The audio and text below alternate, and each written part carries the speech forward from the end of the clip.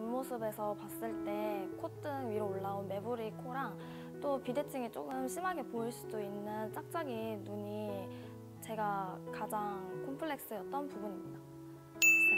처음에 눈이나 코 같은 경우에는 뭐 붓기라든지 통증이라든지 많이 없었는데 안면 윤곽은 아무래도 턱 관련된 수술이다 보니까 여기는 통증도 좀 심했고 붓기도 많이 심했는데 일주일만 지나면 금방 괜찮아져서 잘 회복됐던 것 같아요. 구독!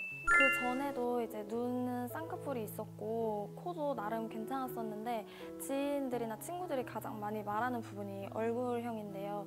얼굴형이 정말 완전 눈에 띄게 되게 달라졌고 자연스러워졌다고 말을 하고 있어요. 제 주변 지인분들 중에서 DA 성형외과에서 성형한 분들이 몇 분 있는데 그분들께서 수술하고 난 후 보니까 정말 잘 됐고 아무래도 원장님하고 처음에 상담했을 때도 많이 저한테 도움 주는 말씀을 많이 해주셔서 안심도 되고 해서 그래서 DA 성형외과를 선택하게 되었습니다.